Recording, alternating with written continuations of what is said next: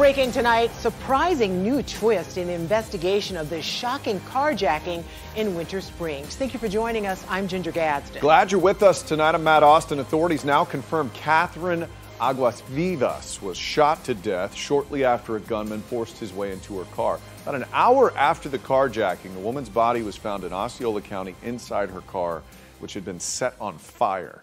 A bystander recorded this video of Aguas Vivas being carjacked last Thursday. It happened at the intersection of Tuskawilla Road and East Lake Drive in Seminole County. Investigators believe the victim was specifically targeted, and this is not a random crime. Detectives are still trying to identify that carjacker, and authorities have just arrested someone they say is tied to the case. News 6 investigator Mike DeForest joins us live from the Seminole County Sheriff's Office with the breaking details. Mike, authorities arrested an Orange County deputy?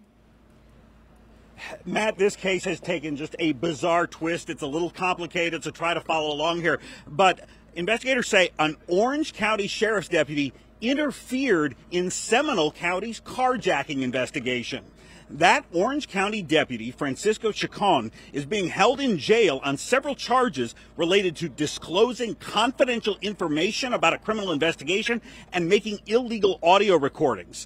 Now, last week, shortly after the woman was carjacked, Seminole County detectives contacted the victim's husband. Well, according to authorities, the victim's husband just happened to be friends with that Orange County deputy. Later, the Orange County deputy allegedly placed a phone call to the Seminole County detective who was overseeing the criminal investigation.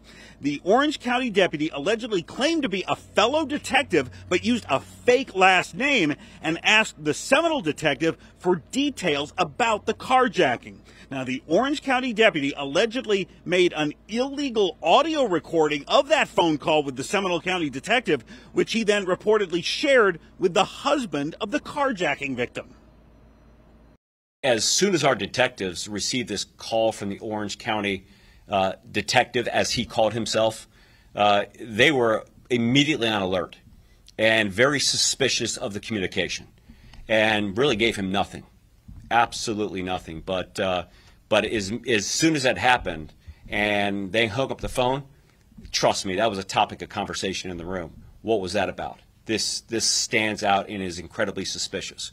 When they later contacted the Orange County Sheriff's Office, they're like, we don't have a deputy with that last name nor a detective, but we have a phone number that is connected with somebody. Actually, interestingly enough, he gave the same first name, uh, but just gave a different last name.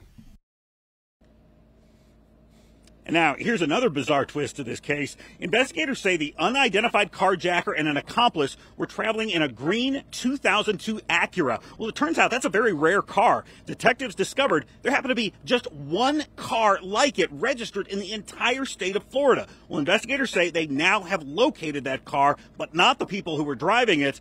Authorities believe that same green Acura may be tied to a second murder that happened in Orange County just last week. So now there are two active murder investigations that appear to be tied by this car. And now we have an Orange County deputy sitting in jail accused of interfering in one of those investigations. Reporting live in Seminole County, Mike DeForest, News 6. Back to you. It is really complicated. And we're going to break down, explain a little more on that other twist in this investigation, that green car that Mike DeForest was talking about. It is now linked to a murder investigation in Orange County. A man was shot at his home late Wednesday night. This happened in Taft. The Seminole County Sheriff says the unusual caliber of bullet used in the carjacking was also used to spray the Taft house with dozens of bullets. The man who lives there was killed. He was a tow truck driver who happened to tow that same green car just three weeks earlier. Of course, we're continuing to gather new details on this breaking story. Look for updates on clickorlando.com.